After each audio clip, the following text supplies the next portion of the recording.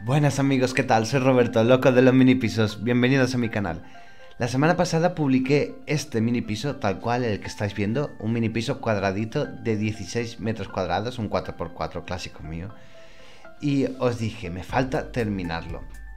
Y, y, lo sabía, que lo tenía que terminar, os lo debía. Y lo he terminado. Le he puesto pequeños detalles, he cambiado ciertas cosas, pero mínimas, porque la base está ya, para mi parecer, bastante bien hecha lo primero que hice fue reducir la potencia de las lámparas. Entrabas ahí, parecía que estabas en el Caribe, un sol radiante que, no te dejaba ver, era, increíblemente molesto. Eh, he puesto algo de decoración, he cambiado por ejemplo el sentido de la, placa de la inducción, que, es pequeñita a dos fuegos, pero así horizontal eh, te comía mucho espacio de, banco de trabajo. Y preferí ponerlo así. Eh, sobre todo las luces ha hecho mucho. En la cocina, justo en la parte de atrás, al lado de la puerta principal, encajonaba mucho la puerta, que en principio me gustaba la idea de que la puerta estuviera ahí como un pequeño recibidor pequeñito. Pero vamos a ser sinceros, esto mide 16 metros cuadrados y entrar ahí encajonado no tiene mucho sentido y he preferido abrir la cocina. He puesto algunos detallitos aquí en la pared pensé en poner papel pintado en alguna de las paredes pero, pero al final, viendo que oscurecía el ambiente, que no me daba a mí... Dije, no, he, optado por poner en el cabezal de la cama un vinilo imitación troncos de madera, que queda muy chulo y los colores van mucho con, con la casa. No he cambiado nada de colores, o sea, es el tono de la luz que al, bajarla, pues queda un poco más oscuro, pero es el mismo, las mismas encimeras salvo que he quitado esta, pared de, que dividía, que separaba la entrada de la cocina, por lo que he dicho, de, sí, la entrada de la cocina, por lo que he dicho antes, porque se me hacía muy oscuro entrar aquí directamente, es, era, aunque era original, ¿eh? pero no era muy práctico para el día a día, prefería tenerlo todo abierto. Y el sofá, el tamaño me gustaba, los cojines, los colores, el, el gris este, el blanco roto con el, con el rosa palo este, está chulo. A mí no, a lo mejor no es un gris, ni un blanco roto, ni, ni un rosa palo, pero para mi mente funciona así.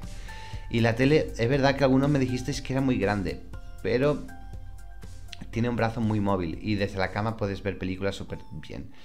Y desde el sofá, pues giras un poco la, pantalla y ya está.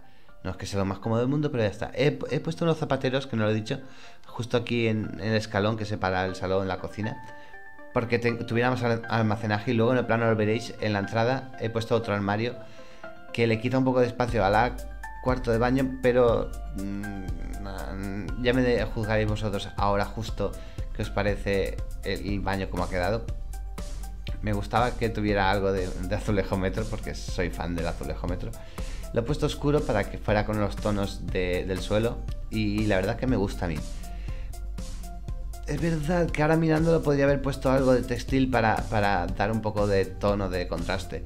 Porque se ha quedado todo muy unitono. No es tanto como estaba antes, pero. Pero bueno, a mí personalmente me gusta. Ahora veréis justo que quito unos, nada, 30 centímetros a lo que es la ducha para tener un armario así, para abrigos en, nada más entrar o, típico armario trastero o de limpieza, que tampoco hace falta que tenga una función. Y nada, en este plano supongo que lo veréis mejor los, los 30, 40 centímetros que le quitamos a la ducha, porque la ducha en sí era muy, muy grande. Y aún se queda una ducha bastante tamaño. Lo único que he cambiado el inodoro de sitio, porque tampoco queda muy aseado abrir la puerta justo el inodoro de frente ahí el trono. Eh, lo he hecho un poco así más estético, se podría decir.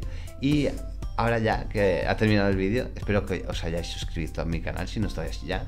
Y quería felicitar a Jenny, que la quiero un montón, que eh, su cumpleaños fue el domingo y, no me podía yo permitir el lujo de un año aquí no felicitarla. Creo que es la persona a la que más vídeos le he dedicado en mi historia y a la que más vídeos le dedicaré en mi historia porque la quiero un montón y es una de las grandes personas especiales que hay en mi vida y la quiero no estoy enamorado de Jenny, por si alguien pregunta eso, eh, tranquilo. Es solo un amor platónico no correspondido. buenas noches. Espero que, que os haya gustado el vídeo y nos vemos la semana que viene con otro y mejor. Chao.